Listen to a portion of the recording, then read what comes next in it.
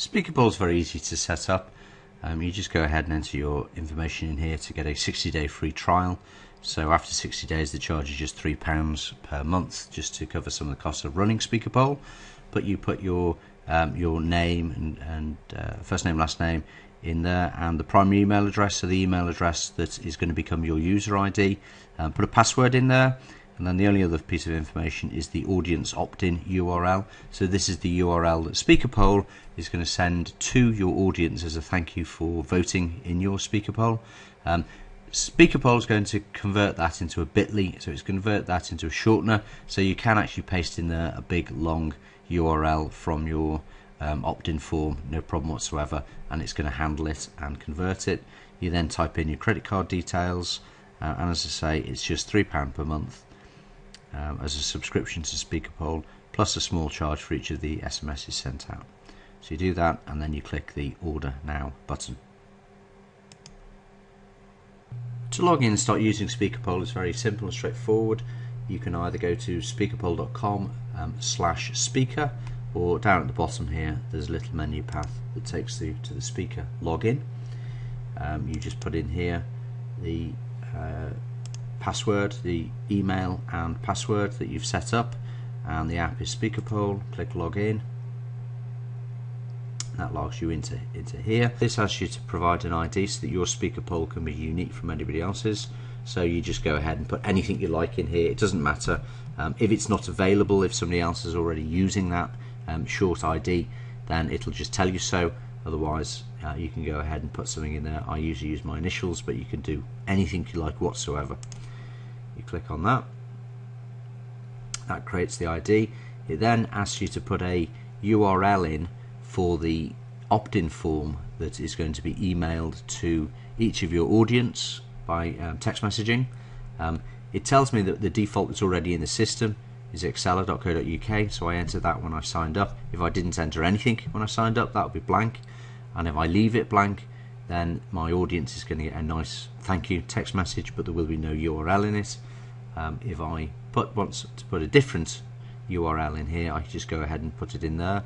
Again, it can be anything whatsoever. It can be as long as you like because Speaker Poll is going to convert that to a bit.ly to save, uh, save spaces.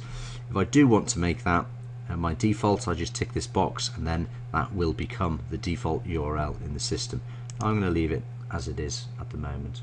So I click next and then I just start um, answering the question, asking the questions rather. So I can ask my audience that question. I click add. Okay, and that becomes the next question in the line. You see the first question, next box in there is the speak well goods I've just asked in there. Um, there's no votes on these. If you actually want to clear the questions, you can just click on this link here and that'll clear all those questions and just go back to the beginning. And then you can ask your, your question just up here. And then we get to a, uh, a screen just with that question on it. And then if I go ahead and just vote so I'm just going to uh, make a send a text message from my uh, telephone and uh, make a vote so that you can see this sort of happening live. So all I need to do is type the word votes followed by that ID that I put in and this is not case sensitive and then I'm going to vote A if speaker poll is any good B if it's not very good and C if I'm not sure at the moment. So obviously I think speaker, speaker poll is pretty good so I'm just going to send that text message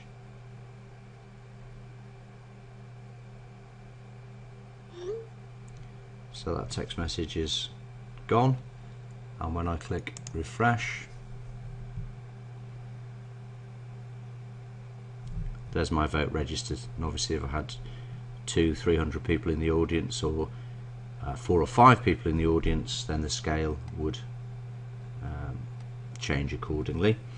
And if I now want to send another text message so simulating somebody else making a vote so votes my ID and then another vote. And then if I just send another vote to speaker poll and click refresh we can see the vote changes live.